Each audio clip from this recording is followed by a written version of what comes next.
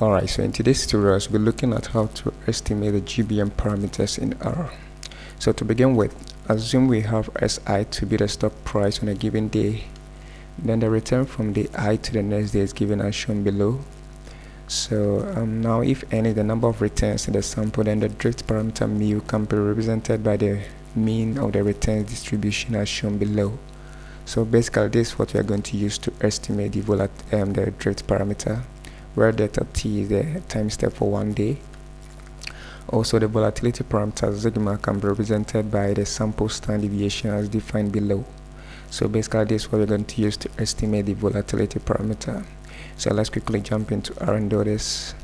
So first of all, we can write a pseudocode or write a function for the um, drift parameter.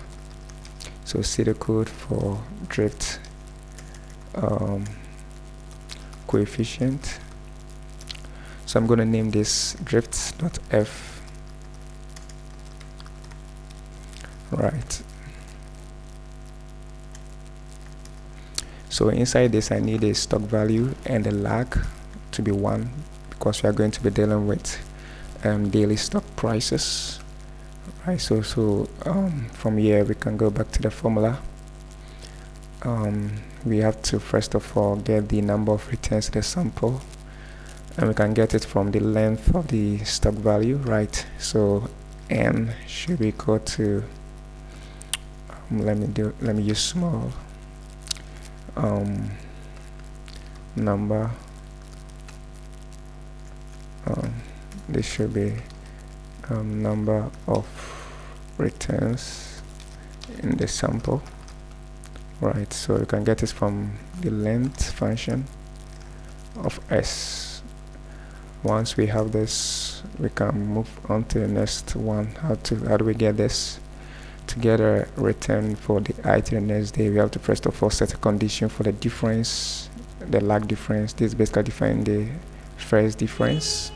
So first of all let's set a condition for that. So condition set condition for lag difference.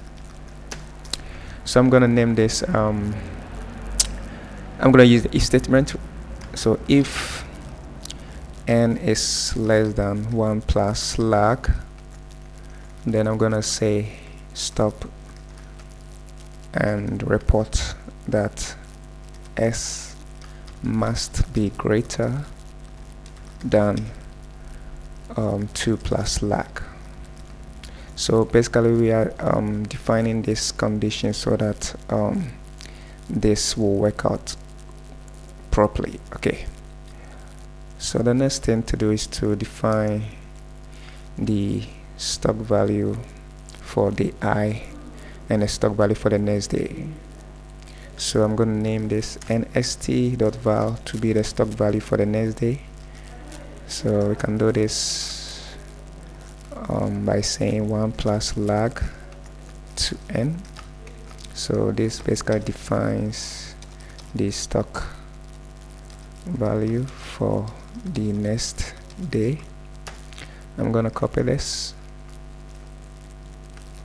right and paste. So I'm gonna change this to current day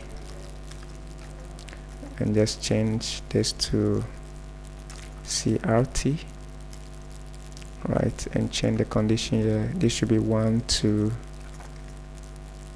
n minus lag so this defines the stop value for the current day. Once we have this we can set the time horizon. T should be 1 time horizon. Are looking at daily returns.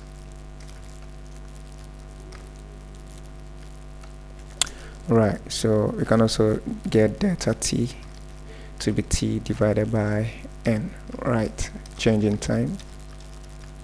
Once we have this we can now define mu hat. So mu dot hat is going to be um, we are now at this level. We want to define this. We have defined delta t. We have defined this. We have defined this. So we are now going to define this. So um, mu hat is going to be sum um, let's get a stock returns first um, stk dot r. Um, let's let's get this ri right which is going to be the difference divided by the stock value for the current day. So um, we are going to have an st dot val minus crt dot val right this then we divide this by crt dot val so the stock price for the current day the stock value for the next day divided by stock value for the current day. That's basically what we have here. So now we can now sum it. So mu um, mu dot hat is going to be sum of stk dot r right then we divide this by um, n times delta t mu dot hat. So um, this is basically going to display the result right. So once we have this we are good to go. So this basically defines or this is the code for the drift coefficient. We copy the same and do for the volatility coefficient. So I'm gonna paste it here and just change this to volatility. So see the code for volatility coefficient. I'm to change this name to volt right. So everything holds. We just have to change this. Let's go back to the formula. So um, basically we need to get r bar right. We just same as mu hat and basically sum them squared and get the result so let's go back to r. So um, I can say mu hat should be mean right? Mean of stk that's r. Right let me change this to let's say um, r bar right. So once we have this um, that's basically this. We can then get the variance. So sig dot var variance of the volatility. And that's going to be the sum squared right? So I'm going to square this which is going to be the stock returns minus the r bar r dot bar squared then we divide this by um, n minus 1 multiplied by delta t. So once we have this we can get sig dot hat which is basically going to be the square root of the variance sig dot var sig dot var right so we are good to go. So let's run these two estimators um, so I'm gonna run these two together. Alright so we have to test this on the GBM model. And if you can recall in our previous tutorial we learned how to uh, write a C code for the GBM that's basically what I'm to use. So I'm to copy the same and just paste it here. So please if you haven't watched my video on the um, simulation for GBM you can go watch that before you jump into it because I'm using the same um, code in here. So or basically you can also use the library package for GBM that is the um, simulation of diffusion process. Um, you, you, have to load this library.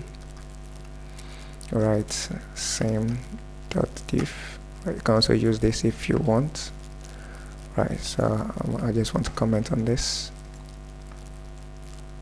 Right let me copy this. So you can either use this or you can go by this. Right so I'm gonna run this.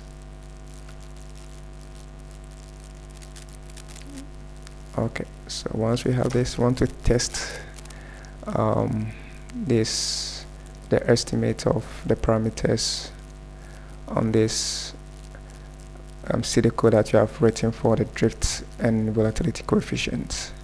So um, let's say we need a returns. I'm gonna call this returns. So I'm gonna use the GBM model gbm dot function. And in this we need n right and let's say we need 500 stock returns. And mu should be 0 0.05 sigma should be 0 0.15 and let's say we need um, the stock the initial stock value should be let's say 10 right so let's run this. So once we have this how do we estimate um, the drift coefficient? I'm going to use the function that we have already created. So drift dot f returns. Right so let's run this. Oh oh I use m instead of okay so let me change this to m. Change this to small m. Right I was using big N. Let's use small n. Right so that it works right okay so now let's rerun this. Let's rerun everything. We have to start from um yeah.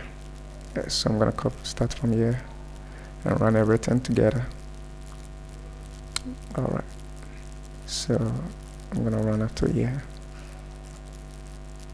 Alright so now I can run this.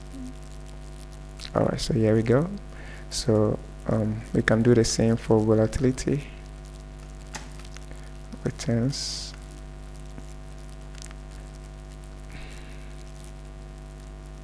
Oh let's see.